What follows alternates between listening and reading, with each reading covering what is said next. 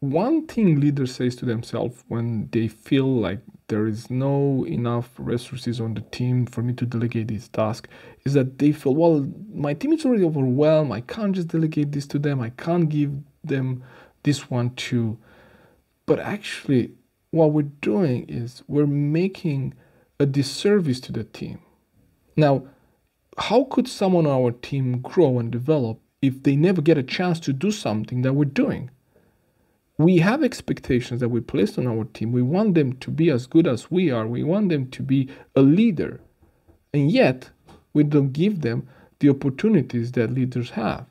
Think about there was someone in your life, in your career, that believed in you, that gave you a chance for you to learn something and to prove yourself. And if you're holding that pressure away from your team, if you're holding those tasks away from the team, you are actually making them a disservice. You're not giving them an opportunity to grow. So if that's your thinking, I'd like you to think about that and how is that affecting your long-term performance for yourself and for the team. How, how many more tasks can you take for the team?